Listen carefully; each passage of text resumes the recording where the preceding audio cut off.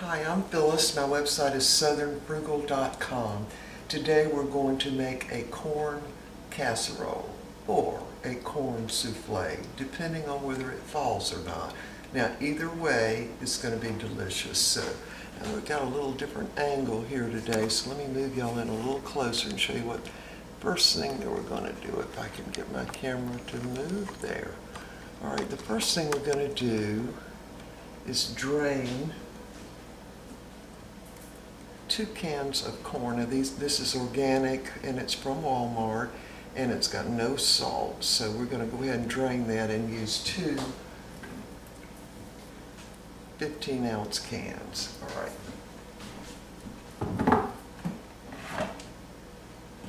Got to get a spoon. Hold on.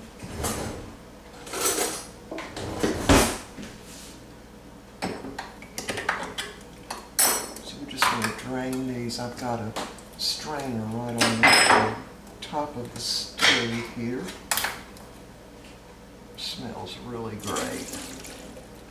So we're going to drain all the liquid from the corn.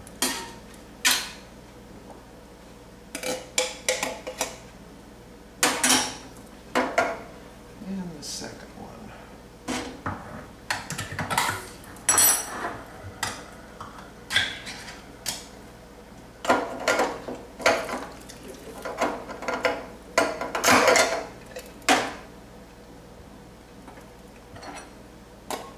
Alright, so we got the corn drained. And now what we're going to do is put it in our food processor. Drained a little better than that.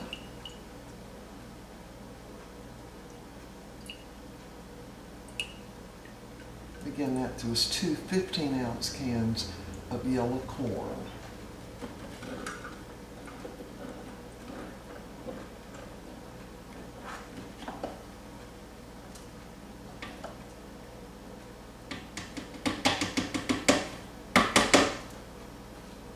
All right. All right, so we're ready to groan. This guy's going to be kind of loud.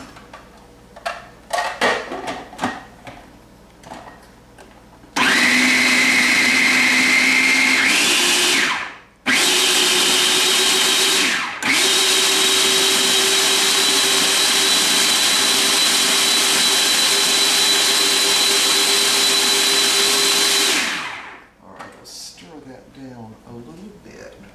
A spoon.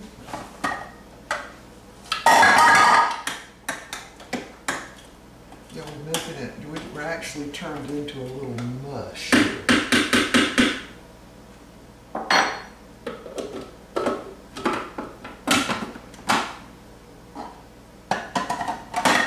One more time.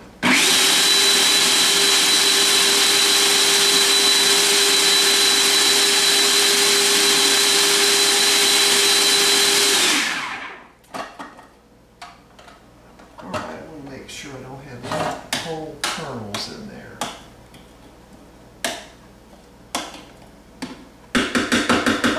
And by the way, for y'all who do not have a food processor, you can find these at Walmart. This is a Hamilton Beach for about $29.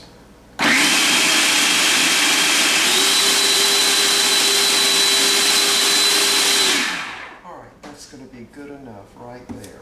So the next thing we're going to do is beat some egg whites. Now, the, re- the recipe's going to call for two eggs, and what I've done is gone ahead and separated them. So I've got two egg whites, and this is going to be noisy again. I'm going to try this with my emulsion, emulsion blender and see if we can't get that to work. All right. Here we go. It's going to be noisy again, so we're going to give it a try. Now, I've got this attachment, but I don't like the way that works in this glass, but we might have to do it that way. But let's see if we can beat these egg whites like this. はい。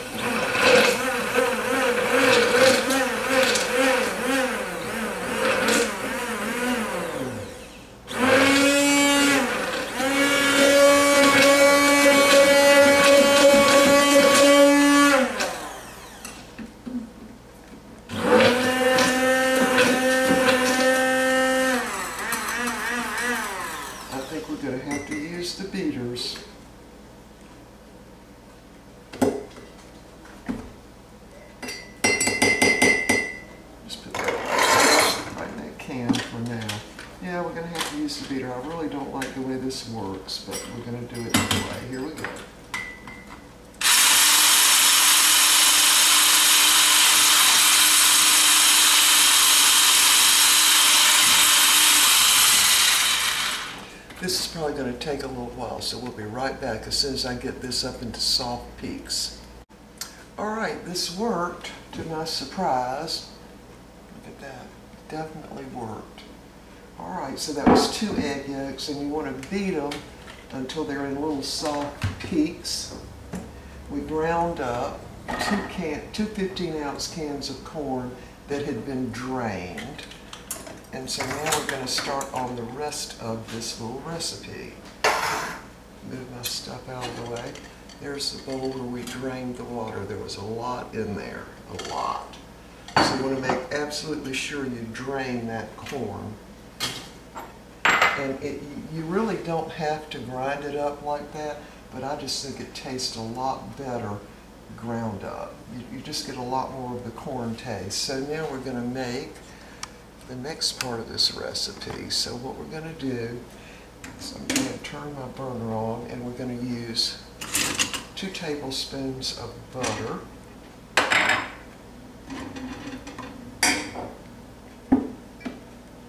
let that, I went ahead and turned that burner on high. And while, while that's melting, um, I'll tell you that we made it through that most recent storm just fine, no problem. We did have a lot more wind. Well, let me turn this around. Y'all look catty-cornered kind of back up a little bit there. So uh, we had a lot more wind than we did with Florence, a lot more. But we didn't have, again, very much rain at all.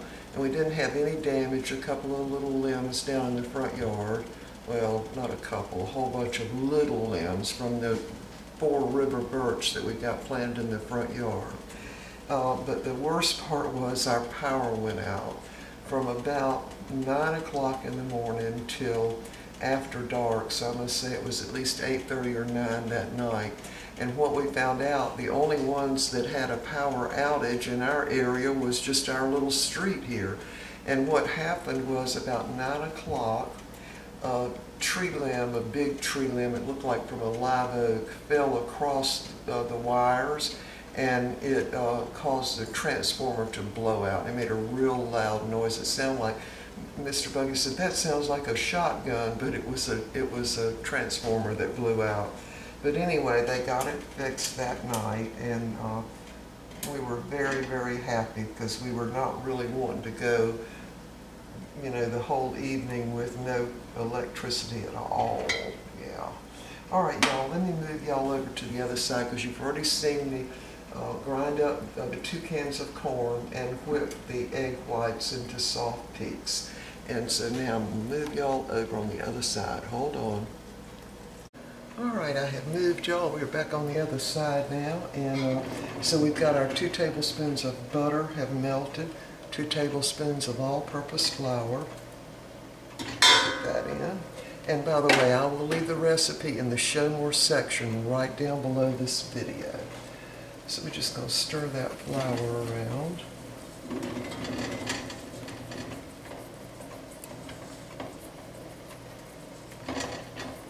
Like that.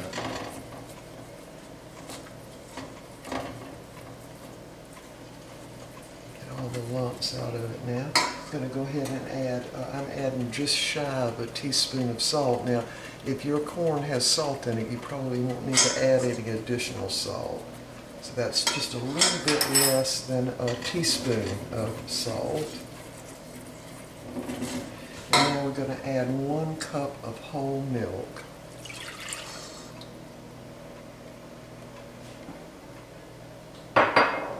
And now we'll just have to keep stirring this until it thickens. And of course the milk was cold, so it's going to take a little while. So we'll talk while this is getting thick because what we want to do is we, do, absolutely do not want it to boil, but we want it to thicken up. So we'll talk about the storm again. So, um, a lot of places were closed during this uh, recent storm.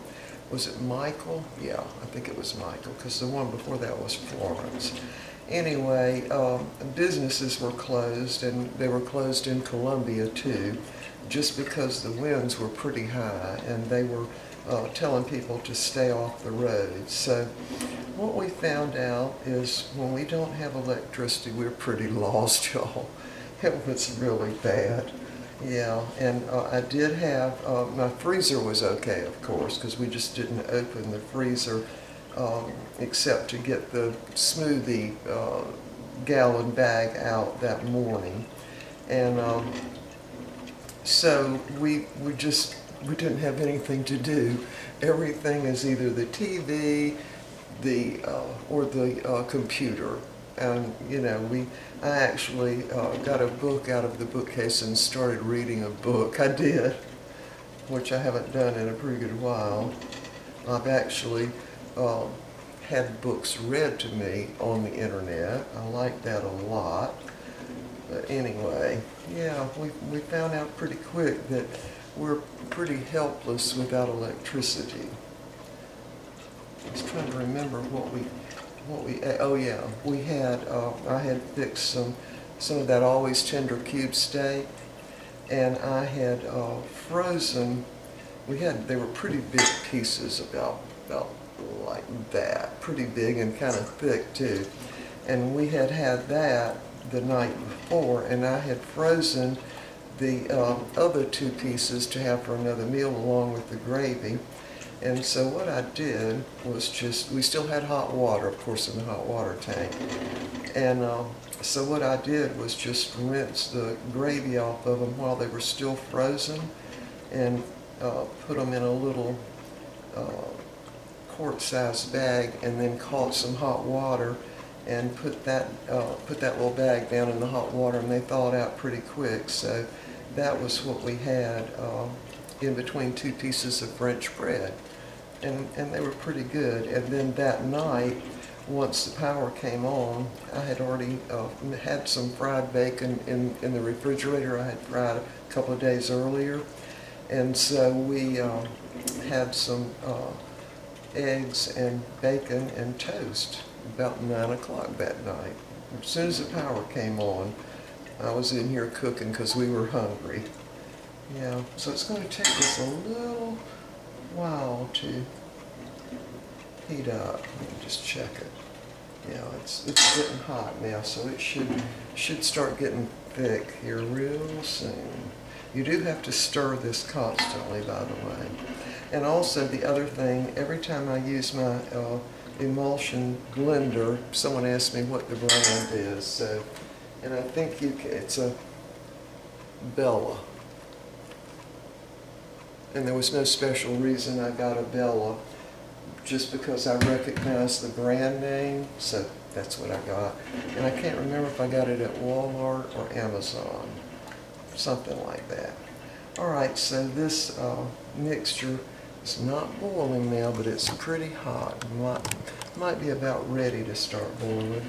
So what I'm going to do is go ahead and just beat these egg yolks, two egg yolks, and I'm going to beat it real fast as I put them in, real fast, because you don't want scrambled eggs in there.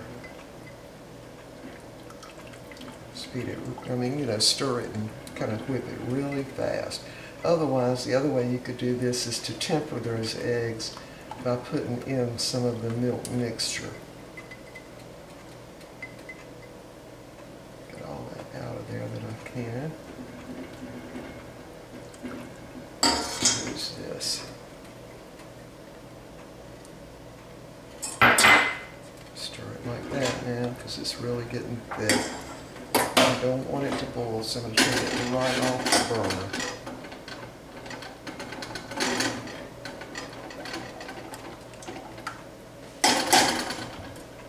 It's definitely gotten thick really fast.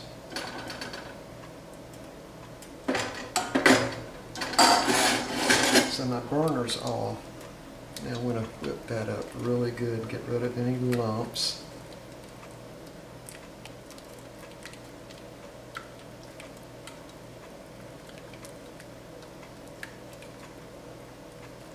There we go. There's what it looks like. All right, so now we're going to dump our corn in. I know this seems like a lot of trouble, y'all, but it is really good. And if it turns out to be a souffle, then you've done super well. But if it turns out the other way, you've still done well because it's going to be delicious. All right, so now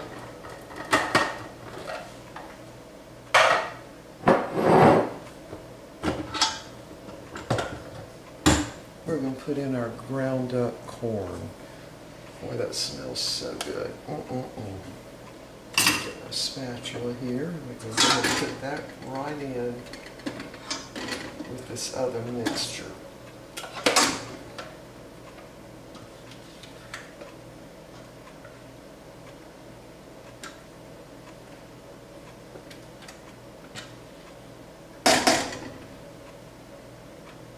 Get all that out of there. And I dropped my thing right in there, but that's okay. Just scrape it off. Alright, so now we're just going to mix this in with that almost a pudding mixture.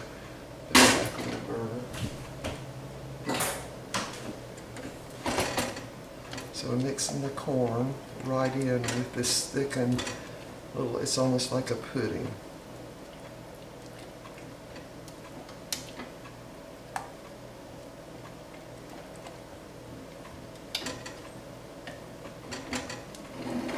Alright, now we're going to fold in those egg whites.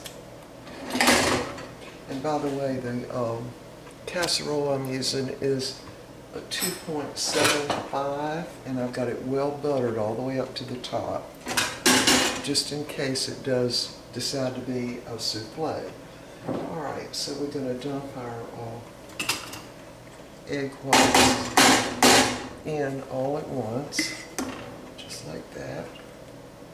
And then we're going to fold them in by bringing this over the top of them.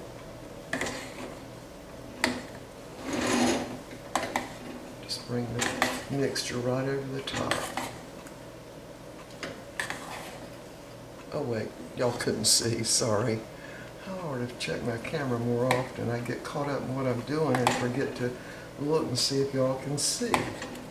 So we're just folding this in and bringing that uh, hot mixture up over those egg whites. Now it's not real hot, but it's still warm for sure.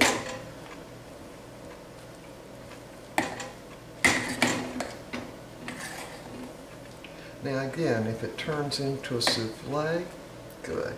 If not, it's going to be a great casserole. Great corn casserole. And you could actually make this and not grind up the corn, if that's the way you want to do it, but I love it ground up. I just don't like those tough hulls. They're always getting in your teeth and you have to eat and then go get the dental floss, you know? All right, I'm just to mix that in like that now. So what you're doing is introducing a lot of air into the mixture. Don't want any big blobs of uh, egg white in there if we can help it.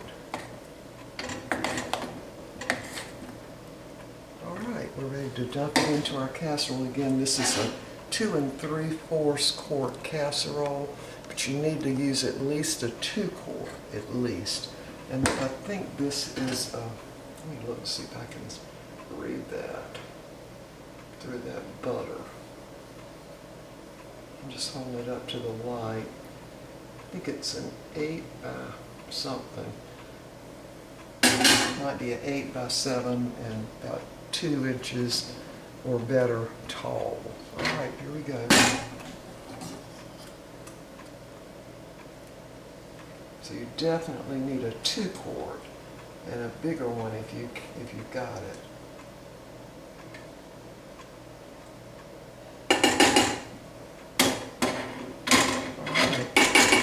So there it is. Now we're going to put this in a 350 degree oven for about 30 minutes. And of course you would want to use pepper if y'all like pepper. You could use pepper in this too, to your taste. All right, it smells really good. It smells like fresh corn here in the kitchen. So we'll, we'll be back in about 30 minutes. Now remember, if it rises way up and stays up, it will be a souffle. If it rises up and then it falls all the way back down, it's a casserole. All right, we'll be back. All right, we are back. It's been 30 minutes and the uh, corn casserole is ready. There it is. It only puffed up a little bit, but that's okay because either way it is very good. So I'm taste of this for y'all. There's what it looks like. Let me let me mash it out and let it cool a little bit.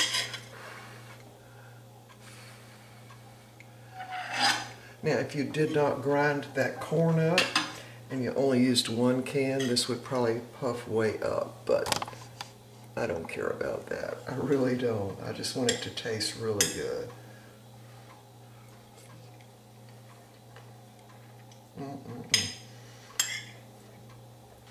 It's delicious. That corn is really good too, by the way. Very good. Mm. There's what it looks like all ground up. I like it better that way.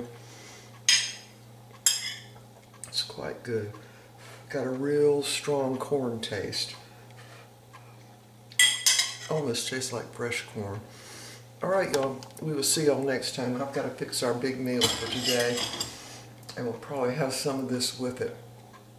It was hot. Alright y'all, we'll see you next time. Bye for now.